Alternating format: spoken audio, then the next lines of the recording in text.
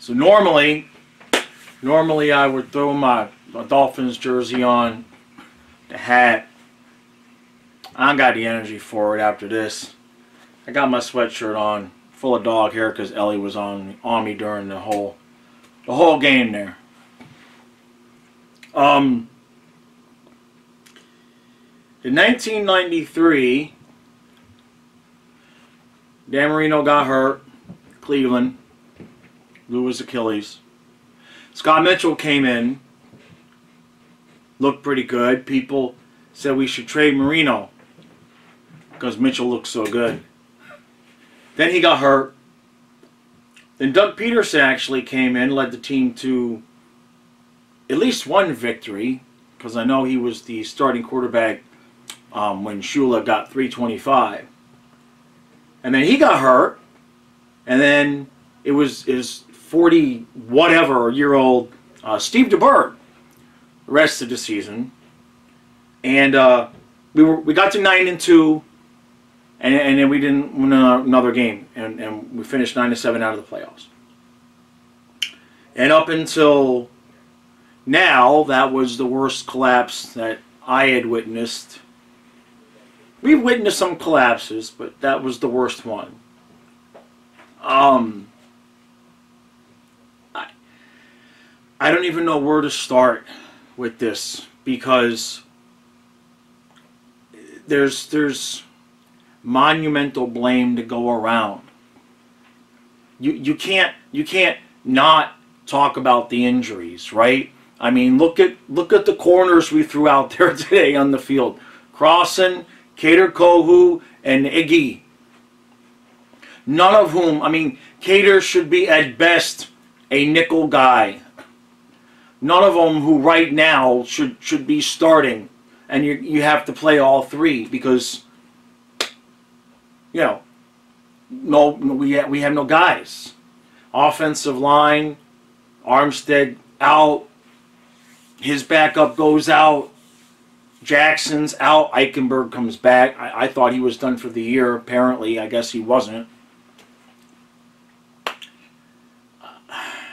So you can't completely ignore the injuries because then obviously you have to get to the quarterback position, no Tua, and then and then it's like the, the, the Teddy thing. Has he played an entire game this year where he didn't get hurt? I guess the, the, no, no. Well, he finished the Cincinnati game, but he hasn't played an entire game this year from start to finish where he didn't get hurt.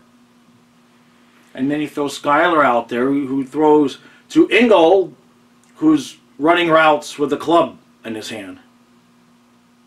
Uh, they, they, the coaches did figure that out, though, for the last drive. They had Ahmed out there.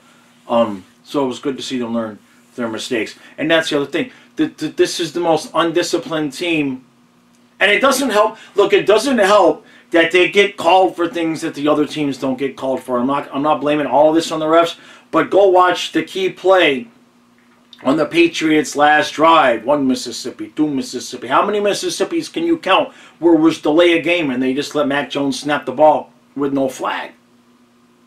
Meanwhile, if if if Tyreek is only shipped for a half a second instead of a full second, if it's a successful play, you can guarantee that late flag is coming out for illegal procedure on Tyreek. So everything, everything, everything, really, if you think about it, with the exception of the health of our wide receivers and running backs, oddly enough, everything else is just completely falling apart. The secondary is is a shell of its former self. The only decent person out there right now is Holland, and he played the rest of the game. You could tell he's playing with one arm. He did something to his forearm. Um, the the corners. I mean, the the, the pass interference on Crossen was it, like if I was out there running with the guy, okay, at 5'6", 180 pounds, and 51 years old, if I was out there running with the guy, and it kept up with him, by the way, okay, Crossen was there in position, I would know if you see the receiver starting to look for the ball, you, you, you turn and you look, and the ball's likely to be there. You don't tackle the guy before the ball's even there how is this guy on the NFL roster? How? How? And he's got to be on the Dolphins NFL roster. So we were eight and three. We were we were talking about, hey, why not us? Why not us? And now you look at what we have, and holy hell in a handbasket, because we don't know what we have at quarterback in terms of can can Tua survive? He hasn't survived the season yet without injury, but now literally, is it can can can he make it through a game without? No offense, but getting scrambled eggs. I mean, the, the hit that he took the other day was just himself falling. So can you really go into next season saying Tua's going to be the guy when his when he's that fragile, when he's that close to getting head injuries? I, I don't. I'm not talking about whether or not he can play or not. I'm you know whether or not he's competent at, at playing quarterback. I'm talking about can he physically do it? I, I don't think you go in the next season. You cannot go in the next season and we are talking about next season, by the way. You cannot go into next season rolling all your dice on Tua staying healthy, and that's our plan. And please do not bring me back Teddy Bridgewater. We, we have to look at guys like Jimmy G, Derek Carr. I mean, I'm not saying those are saviors, but you know, Derek Carr, he was at least healthy most of the time, right? I mean, we need guys that can, first of all, just be consistently on the field. 49,000 year old Tom Brady is out there slinging it, leading a comeback right now to lead his team to the playoffs. Meanwhile, do not look at the list of quarterbacks that we have had. I have a Trent Green jersey. There are some of us who had hope in Cleo Lemon. Do you not understand how torturous the last 22 years have been? Jay, Jay Fiedler and Chad Pennington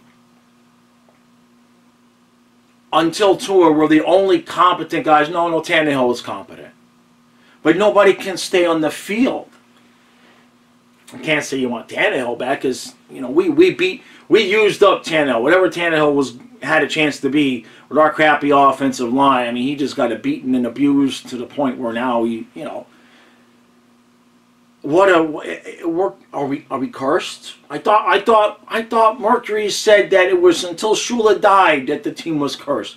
Well, I love you, Don, the Don, but Don, I love you, but take care of some business upstairs. What did, we should not be cursed now. Well, we clearly still are. So we were eight and three, and now we're eight and eight. And does anybody think? Does anybody think that Buffalo's going to put a team out there next week that's going to beat the Patriots? I mean, does anybody think we're going to get what difference does it make? We're, we're not going to beat the Jets. We don't have a quarterback. By the way, we don't have a field goal kicker either.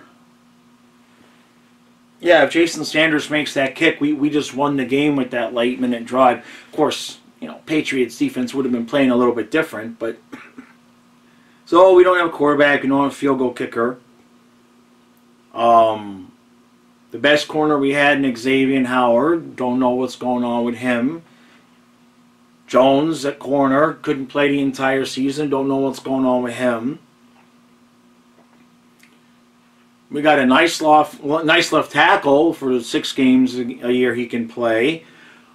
Our center is a amazing run blocker. He has not learned how to snap the ball. The rest of the guy, I mean, Eichenberg came back and it was like, woohoo, Eichenberg's back. We can put somebody like in the lineup that's like got two legs and two arms left intact.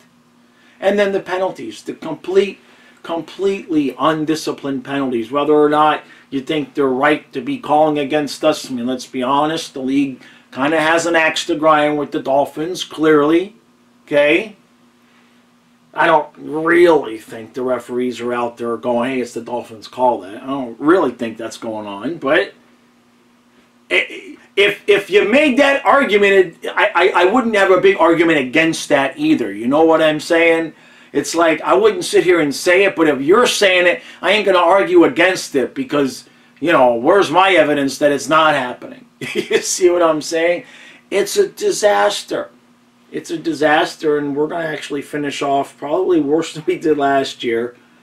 And so, and and and and,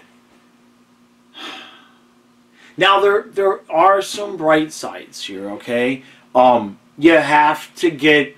I'm just going to say Jimmy G because I'm going to use Jimmy G's name as him or somebody like him. Okay, you go out, you get somebody like that, and, and at least go into next year with Tua and Jimmy G, Tua and Carr, Tua and somebody that can play one game without getting hurt. Teddy, I'm sorry. Adios. Come on, man. He can't play a full game without getting knocked out. Literally. How many times this year? Three? One? Two? two I don't know. I give up. So, now, you look at the schedule at the beginning of the season. You saw January 1st at New England. You said, L, right? I mean, let's be honest.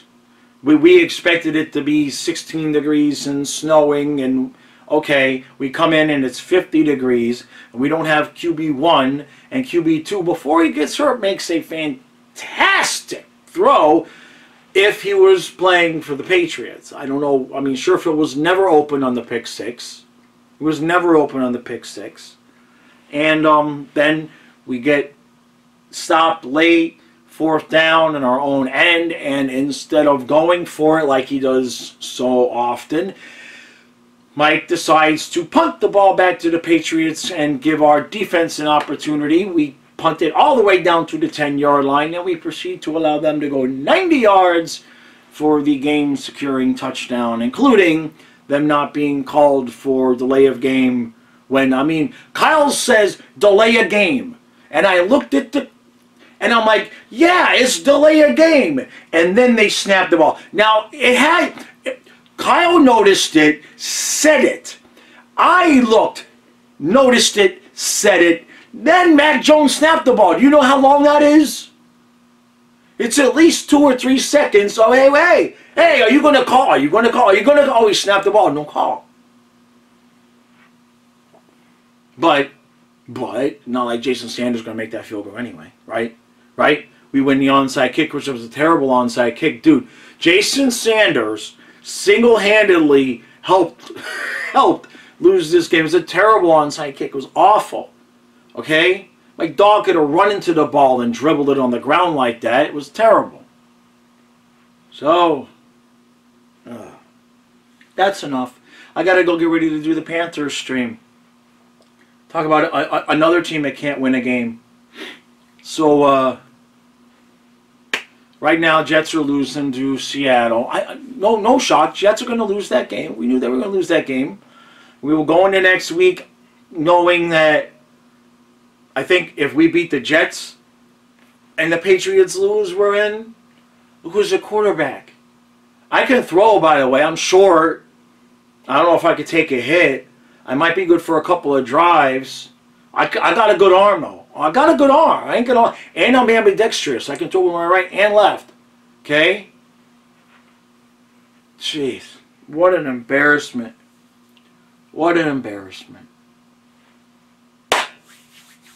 Right, Nate. Years ago, that would have been the end of the season. We have to suffer through one more torturous what if hope because we can't get eliminated. We, we can't get eliminated tonight. So no matter what, we're going to go, oh, God, I'm just realizing that no matter what, we have to go all week and into next weekend knowing that there's still a freaking chance. Oh, I'm going to be sick. There's still a chance I'm going to be sick. We're going to have to do this all week. Oh, God. I got a Panther live stream in a half hour. I, I see you guys in a half hour or after that. or And I can't imagine what kind of hellfire and damnation I'm in for with that game.